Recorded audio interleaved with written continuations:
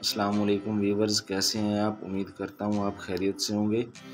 आप देख रहे हैं मेरा यूट्यूब चैनल। मैं आपको अपने वीडियो में समोसा चकोटी लगाने का तरीका बताऊँगा। मेरे व्यूवर्स, जब आपने समोसा चकोटी का कपड़ा कटिंग करना है तो आपने उसको इस तरह हरगिज़ कटिंग नहीं करना।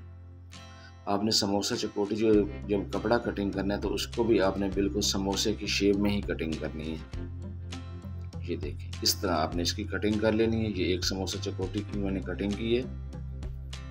ये अभी दूसरी की कटिंग कर रहा हूँ। जब आपने इसकी कटिंग करनी है तो इसको पहले इस के साथ आपने अच्छी तरह से इसको प्रेस कर लेना है।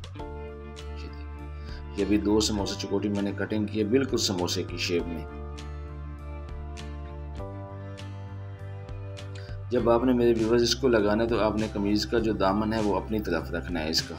ये देखें, आपने इधर उधर इसको नहीं करना बिल्कुल सीधा अपनी तरफ़ ही आपने रखना है इसका दामन जैसे आप बैठे होंगे। कि बिल्कुल समोसे की शेप में मैंने इसको कटिंग किया तो अभी इसकी जब सिलाई लगेगी, वो भी आपने समोसे की शेप में ही लगानी है।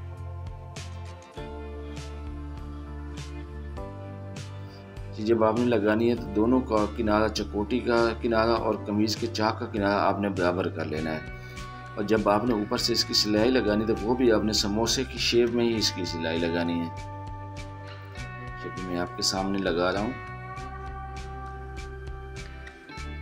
जब आपने ये सिलाई लगानी तो इसको आपने ख्याल करना है कि चकोटी को नीचे से सीधा करके आपने ये सिलाई बिल्कुल सीधी लगानी है। ये देखिए मेरे व्यूवर्स ये बहुत ही आसान चकोटी है और बहुत ही प्यारी चकोटी है।